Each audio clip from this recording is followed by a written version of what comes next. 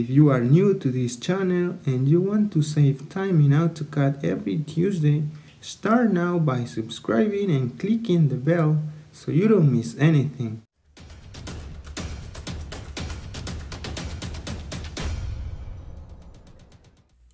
How to use frame around text in AutoCAD? Should you use attributes? Should you use dynamic blocks? Should you use M leaders or multi leaders? Or maybe you just should use normal text with a rectangle around.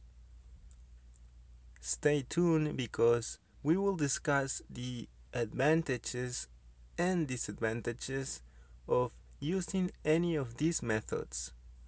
Remember to watch till the end where I'll show you how you can download any of these AutoCAD items. So let's start with a simple text with a rectangle around it. So as you can see, if I change the text length of this item, you'll have to stretch the rectangle also individually. And do you imagine to use this on all of these room names? That would be a lot of work. So the option one of normal text and a simple rectangle doesn't really help us to work faster in AutoCAD. So let's continue with the second method. For this example, we have a multi-leader. So the first advantage of using a multi-leader to have a box around a text in AutoCAD is that if you edit this text you can see that the you can see that the frame or box stretch automatically adjusting to fit the text. Another advantage of using multi-leader as a box around a text in AutoCAD is that it has a mask so you can hide any object behind it as you are seeing it right now.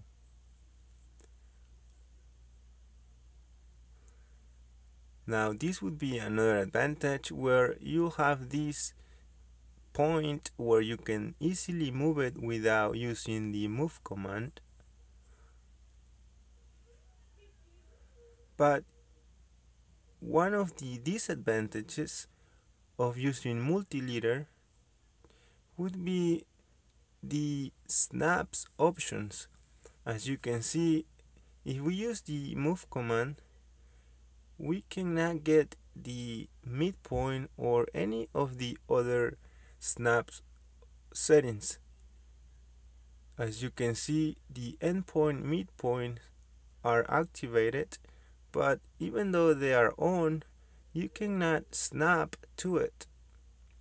And this is one of the disadvantages of using multi-leaders as a way to have a frame around your text. Now let's see how to remove the frame around this multi-leader text.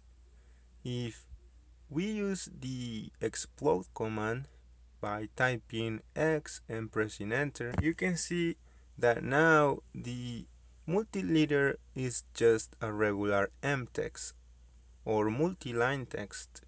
So it doesn't keep the property of the frame around this text. Let's use the burst command this time. And as you can see, it shows zero objects this means the burst command doesn't work on the multi-leader. So that's one of the disadvantages of using multi of using multi-letter. So let's continue with the third option, which is a block reference using a attribute on it. So as you can see, this is a block reference as you can see So let's move this attribute block a little bit up. And one of the disadvantage that we're gonna have with this attribute block is that you will manually have to adjust or stretch the frame for your text. We can easily achieve this by adding a stretch grip to this dynamic block. In the other hand, a advantage of using a dynamic block to place box around text in AutoCAD is that it has a mask so you can hide objects behind it. Now let's test how the snaps options work with this dynamic block. Let me draw a leader really quick by using the LE shortcut and pressing enter. And if we use the move command by typing M and enter, you can see that all of the snap options are working nicely this time. So that's one of the advantages of using a dynamic block. So let's test how to remove a box around a text in AutoCAD for this dynamic block. So if we use the explode command by typing X and pressing enter, you can see that this dynamic block doesn't retain or maintain its content. So let's go back with Control C and let's use this time the burst command. So as you can see now the content of this attribute block it's showing and also you get a normal rectangle around it. So let's go with the next option.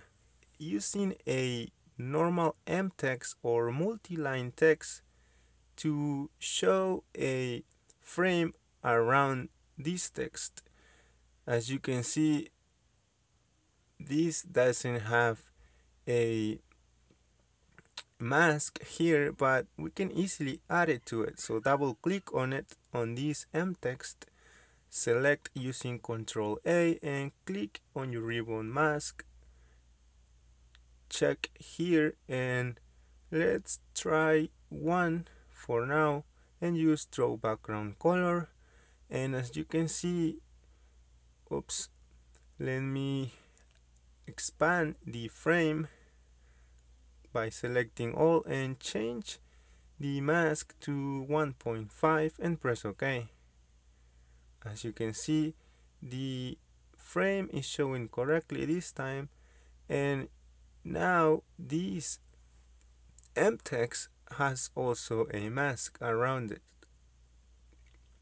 So this is simply an M text with a text frame option to yes so if you change it to no you can easily remove the frame around the M text.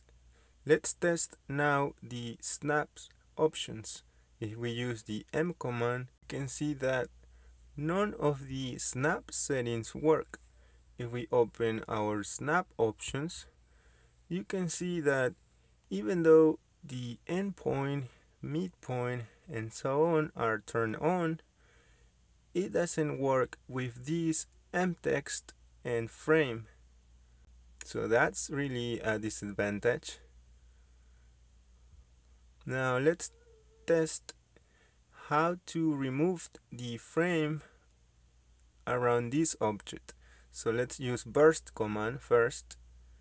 Oops, the burst command we can see that doesn't work so if you use the explode command by typing X and pressing enter, you can see that now we separated the frame from this text. In the other hand, an advantage of using mtext to use frame around text in AutoCAD is that if you edit this text, the frame will stretch automatically To accommodate for this specific text, we can also change the justify options to middle so the next time you change your text it will space out equally to the right as well as to the left. So the last test is how fast we can change the content of any of these text with frame in AutoCAD. Hey, if you're getting value out of this video so far, can you smash the like button? Alright, let's finish this up.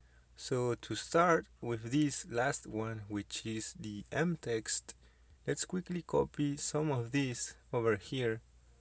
And if we select one and right click on our mouse, we can select select similar. Once all of our M text with frame are selected, let's see if we can change the content. So I'm gonna use my quick property palette to change. You can use your property palette too. And if we select this, you can see that it only jumped straight to change only one of the M text.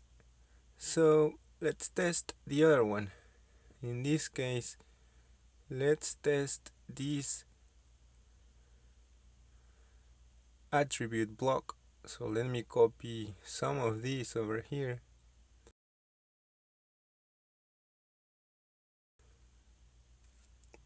again the same steps select one right click on your mouse and select similar. Let's see here on the properties palette. We can change here. Let's say it's a different height 9 feet 10 and oops.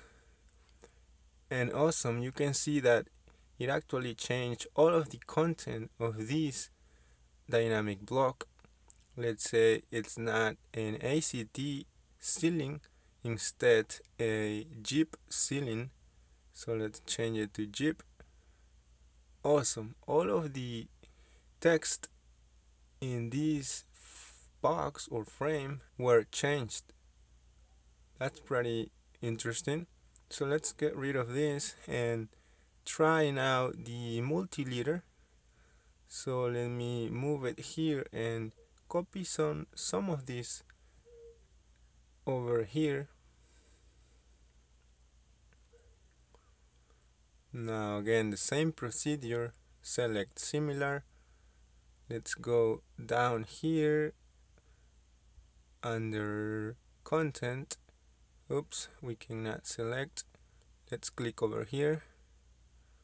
Hmm it sent us to the first multi-leader so let me see what happened if I change here to Jeep. Oops. Hmm interesting. It jumped straight to the next multi-leader automatically. And if you keep going changing or editing your text. Finally let me test the last one which is a normal text with a frame or rectangle around. So let me move it and copy it over here really quick. So let's select one of these and right click on your mouse select similar. Hmm we don't have any content to change on our quick properties. So let's select only the text this time as you can see the content is right here. And yeah we can change the content.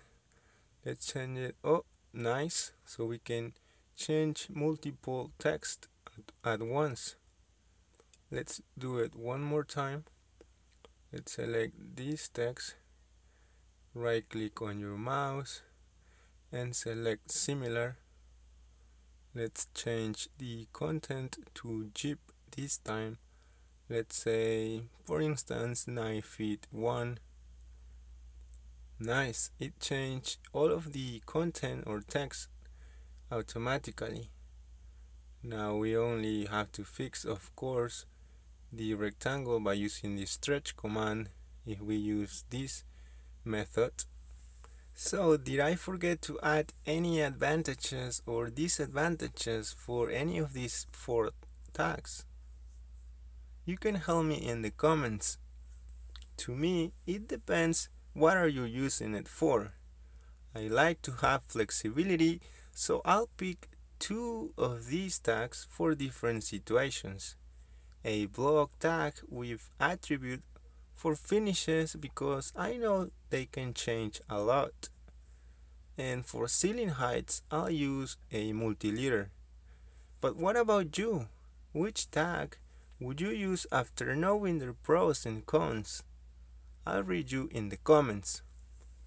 And this is how you save time in AutoCAD. Remember that you can save somebody's time too by sharing this video. I'll see you here next week.